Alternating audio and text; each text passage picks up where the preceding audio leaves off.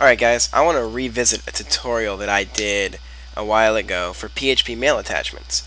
And I want to revisit it because a lot of, while a lot of you have had success with the script, you followed it exactly, a lot of you, more than not I think, have had problems with it. And that's not your fault, okay? It's, it's, this is difficult and I'll show you at the end of this how picky this script is. So, and just to bring it up, uh, this is the fourth time I'm recording this video because of how picky the script is. I've been trying to write it in front of you here for the video, and I've screwed it up four times now. So I'm just going to copy and paste parts of this in instead of retyping it, and I expect you to do the same when I post the script because uh, it, this is just really specific stuff. So don't feel bad if in the past you didn't get it.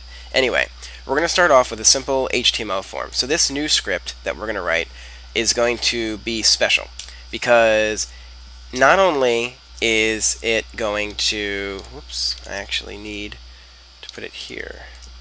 Not only is this new script going to work for you 100% of the time, it will take multiple attachments. We didn't even go over multiple attachments in the last one, so this will do multiple attachments. So we've got a HTML form here with our action being the current page that I'm on, which is slash attach for me, and then it's got the enc type, the encryption type set for multi-part form data. Again, always necessary if you ever want to upload data.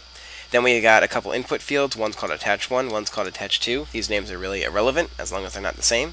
Then we have a submit button. Okay, so let's get started writing the PHP. And I'm going to kind of outline the whole script first before we get into it. So the first thing we're going to do is say did files get sent, right? So that'd be the first thing we're going to do, ask if files were sent. Then we're going to define um, are allowed extensions, so allowed file types really.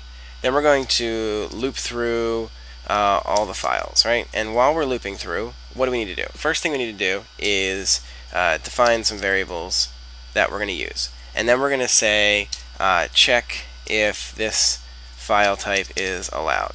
And if it is, then we'll move this file to the server. And just for those of you who decided to skip this part, you have to do this. okay? You can't just use, when you upload a file, you get a temporary path to that file. You can't use that for attachments. You have to move it to your server. We'll go over that in a second. And then we'll add this file to the array of files. Okay, then after this loop, we're going to uh, define some mail variables for mail. Then we're going to uh, define the uh, the plain text email or HTML version if you want and then we'll define actually that'll be second actually. Oops. Ah. We will do that second. The first thing we have to do is uh, define our boundary. And the boundary is um, what separates different parts. So part one and you know what? I'll label that. Part one. Part one. Define the plain text email. Part two loop and define mail attachments. Okay? And then, not a part 3, this is after all that, we're going to send the email. Okay? These are the steps that we are going to go through. Alright? Let's get started. Did files get sent? If is set. Money sign underscore files and bool money sign underscore files. Uh, you can't just check for if it's set because it is set from the very beginning. And it doesn't help if um, it doesn't help if you just check for that because it will hit this. And you don't want to hit this case unless files were sent and that the array is true defined as true via boolean. Define allowed extensions. I am going to start my copying pasting. Defined extensions right there. Loop whoops loop through all the files. Loop through all files. So for each uh, money sign underscore files as name for each file right there. Cool. Add some variables being the name of the file and the temp file that it's in. Check if this file type is allowed. So we will use, um, so first thing we're going to do is get information about this file using path information and then we can use that to get the extension like that path parts extension. Then we check if it's in the array or not. If it's not, we're going to die and say uh, extension not allowed. We're going to die because we just wanted to exit right here. Otherwise, we need to move our file to the server. So to do that, first we have to define a variable of where it is. So slash var slash www slash uploads. And if I go to the server, you can see www slash var slash www slash uploads is a folder that I've created with the permissions of 777. That allows me to read, write, and execute. You need to do that if you want to do this, this uh, tutorial. Okay? Now, we need to actually move the file from our temp name, so where it temporarily is held, to our actual file, which we just defined here. Then, we need to add that file to the array, like so. Now we've added it to the files array. So, now we're on to the mail part. So we've defined all of the file stuff. Basically, we've created an array of files that are on our server. That's all we've done. We have an array of files that are on our server. So we need to define some email stuff, which would be the to, from, subject, and message, and headers. Notice we've started the headers, so in the next section we're going to just do dot equals to add to this.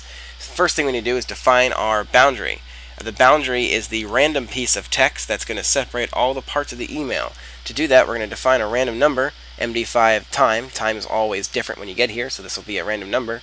And then we're going to create the boundary with equal equal multi-part boundary x, that number x. Okay, that's our boundary. So part one, we need to do the. Uh,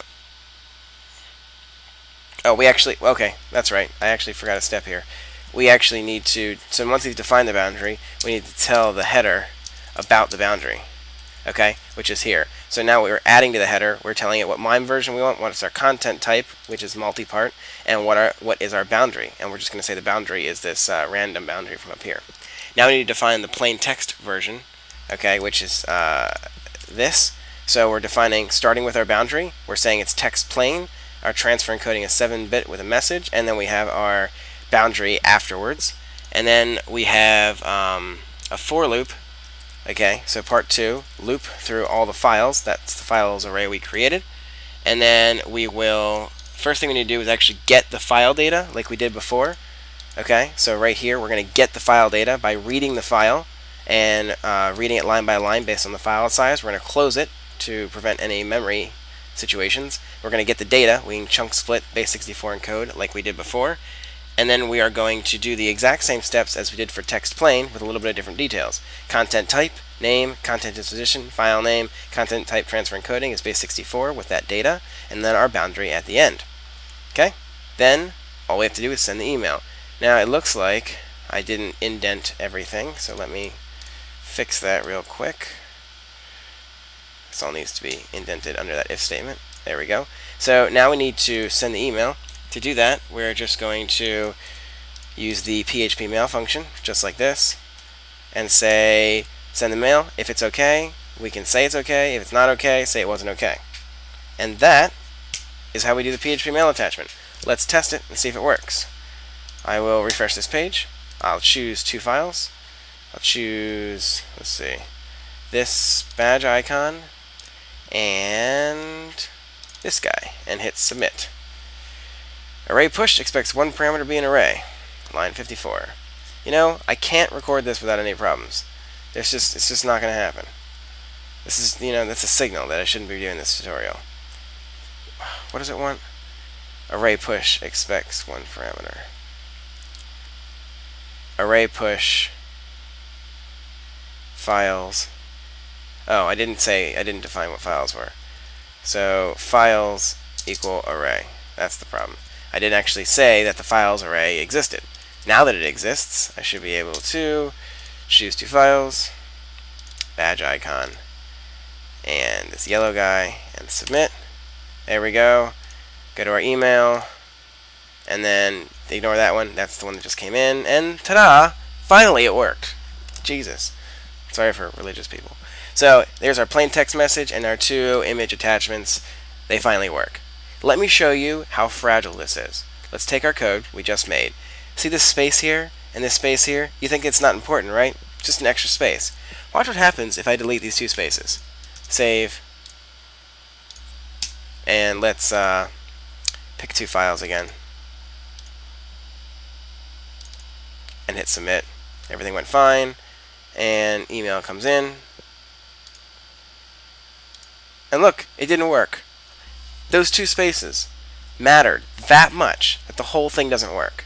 Okay? So just copy and paste this. Don't write it because everything has to be perfect. Being this space, being this space, being this capital C of content type, it has to be perfect. And that was what I didn't get across last time. I apologize for that. But now we have a working script right here. I'll be posting this online so you can use this and it works and you're just going to straight use this for multiple email attachments and you're not going to write it yourself. And even so, if you want to, this is really for learning purposes, but if you want to be doing this for a client, you're probably better off using a whole mail system like SwiftMailer or uh, a PHP mailer that does the attachments and multiple content types for you so you don't have to worry about doing all this intricate stuff. But just so you know what it's like, this is the correct way to do multiple email attachments with PHP.